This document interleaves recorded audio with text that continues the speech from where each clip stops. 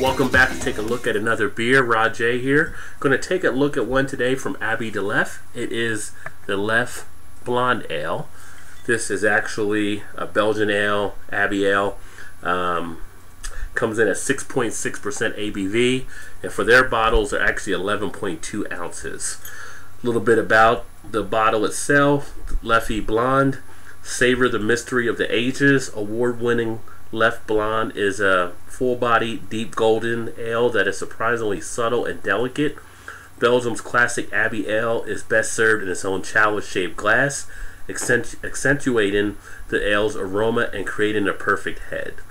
Looking forward to trying this one. Have not had this one before, so let's go ahead and crack it open and get it into a glass. And for this one, I actually do have a Leffe glass. So we'll use this chalice. And I'm not sure if I'm pronouncing it right. It might be Leffy or Leffy or something, but I'm just going with left. Go ahead and pop the top off there. Nice little foil. Nothing special, just a regular foil covered uh, cap. Let's go ahead and check out the appearance. Hey, how you doing? So there we have it in the glass. The chalice fills it right to the top, so perfectly sized for their bottles. We do have a white head, very small head, uh, less than a, a finger. Um, do see a lot of carbonation taking place. If you can see the bubbles right there, which I think you can in the screen. So nice um, action that we have, and then also have a nice golden yellow tint. Um, very, very clear. I mean, the clarity is just awesome on this one. No murkiness, no cloudiness, can see right through. So a very nice uh, golden yellow beer. Let's go ahead and get an aroma and see what the smell is like. And what the hell is that smell? Wow, the aroma smells really good. We're getting a lot of moderate to heavy malt I mean, it just the simplest in, inhalation brings out a good amount of aroma. Have some of that breadiness there. Got a good uh, sweetness taking place.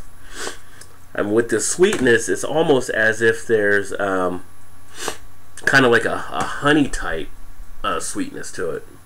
Looking on the ingredients, don't see anything there mentioning in the ingredients inside of it, but it's a very, very sweet smelling beer.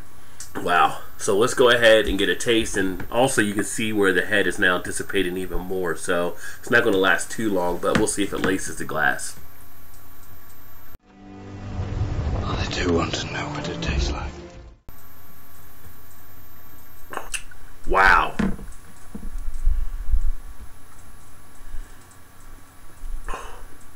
The taste itself is a great mouthful of flavor. The mouthfeel is pretty awesome. Not getting much bitterness, but I'm getting a moderate sweet flavor to it. I'm getting a good um, dry texture. It's got a nice creaminess to it.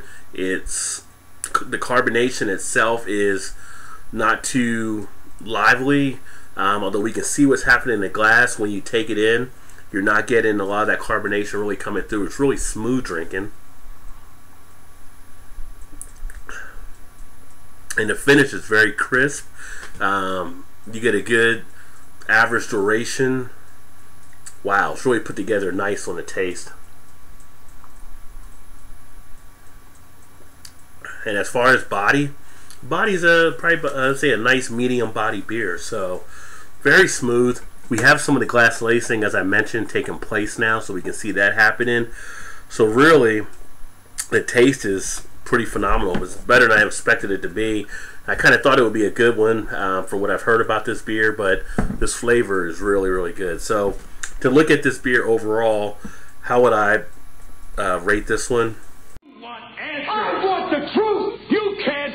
The truth. I'd actually consider this one as far as fitting into some of the Belgian ales as being one that fits that style obviously perfectly because it's designed to do that. But it's really got that nice aroma you would expect from a Belgian type ale. It also has that um, perfect appearance. I mean, you don't get much clearer than that than the clarity shown on this one. Um, and it's also one that's available in a lot of places, I believe. So pretty good access there. Um, like I said, the only thing maybe lacking is maybe the head, but in a lot of Belgian ales, the head doesn't last around as long from what I've seen. But the flavor is just phenomenal, phenomenal, and the, the crispness of that finish, uh, the mouthfeel that you get, it really makes it a great tasting beer. Um, on this one here, the Leffe Blonde, I'm actually going to rate this one on a scale of 1 to 5. I'm going to give this one here a 4. Um, I think it holds very well as a Belgian ale out there. I think it's something that anyone that likes Belgian ales would be pleased with. It's one that I would drink again. Um, it was one that I would get on tap or at a bar, you know, without any hesitation. I think it's that solid of a beer, uh, considering some of the Belgian ales I've had. And if you've had this one before, let me know. Put some comments in the comments section. But I do think this one is worth checking out.